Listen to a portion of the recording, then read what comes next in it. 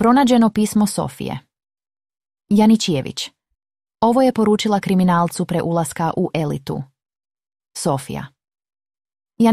Pre ulaska u elitu ostavila pismo, dečku. Društvene mreže ponovo su uzburkane nakon što se pojavila fotografija na kojoj se vidi natpis koji je takmičarka Elite 8 Sofija Janičijević ostavila svom bivšem dečku, kog zove Meda. Ono što je posebno intrigantno jeste specifikacija da je ovaj bivši dečko navodno bio u zatvoru i da uskoro izlazi iz istog.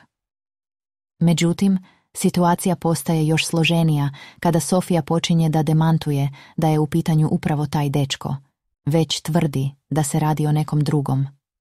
Ova iznenadna promjena priče izazvala je lavinu komentara među njenim pratiocima na društvenim mrežama. Ono što je dodatno zapalilo društvene mreže jeste činjenica da su fanovi realitija počeli intenzivno da istražuju i raskrinkavaju Sofijine tvrdnje. Neki od njih su veoma brzo došli do zaključka da je Sofija pokušala da zamagli istinu i da je upravo Meda njen bivši dečko o kome je reč. Ova situacija dodatno je stavila Sofijin životni put pod lupu javnosti. Fanovi realitija su počeli da preispituju njene veze, prošlost i postupke, dok su se istovremeno pojavile spekulacije o pravoj prirodi odnosa između Sofije i Mede.